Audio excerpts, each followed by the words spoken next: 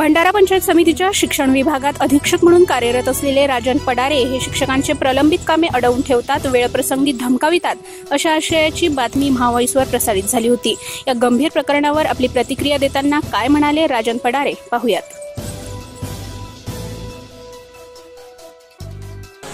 इथं दोन हजार अठरापासून माय फरवरी दोन हजार अठरापासून कार्यरत आहे. मी नियमानुसार इथं कामं करत आहे. मी कोणाकडूनही पैशाची मागणी करत नाही. परंतु प्रशांत देसाई हा इसम मला नेहमी त्रास देतो. माझ्याकडून एक लाखाची खंडणी मागितली. मी त्याला दिली नाही आणि त्याच्यामुळं तो माझ्या खोट्या नाट्या बातम्या प्रसारित करून मला नाहक बदनाम करण्याचा प्रयत्न करत आहे. त्याच्यामुळं माझ्यावरती माझ्या मनावरती मानसिक खूप जबर धक्का बसलेला आहे. त्याच्यामुळं संबंधित प्रशांत देसाई या तोत्या पत्रकारावर कठोर अशी कारवाई करण्यात यावी अशी माझी मागणी आहे.